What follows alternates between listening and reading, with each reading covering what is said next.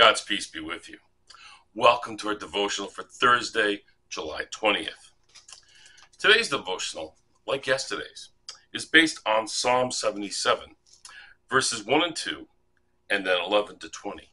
I know, Psalm 77, two days in a row. Huzzah! I cry aloud to God, aloud to God that he may hear me. In the day of my trouble, I seek the Lord. In the night, my hand is stretched out without wearying. My soul refuses to be comforted. I will call to mind the deeds of the Lord. I will remember your wonders of old. I will meditate on all your work and muse on your mighty deeds. Your way, O God, is holy. What God is so great as our God? You are the God who works wonders. You have displayed your might among the peoples. With your strong arm, you redeemed your people, the descendants of Jacob and Joseph. When the waters saw you, O God, when the waters saw you, they were afraid. The very deep trembled. The clouds poured out water. The skies thundered. Your arrows flashed on every side. The crash of your thunder was in the whirlwind. Your lightnings lit up the world. The earth trembled and shook.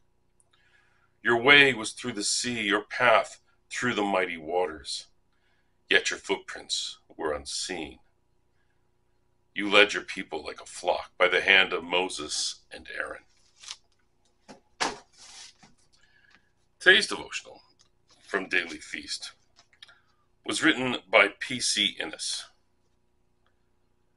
Thus it becomes imperative that one remember truthfully which is always difficult because we have so much invested in our side of the story. In fact, no memory can ever be absolutely truthful or entirely trustworthy.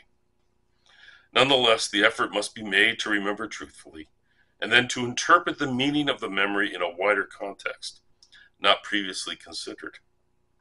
Healing comes when one remembers truthfully, remembers therapeutically, and learns from the past. And we're left with this to ponder.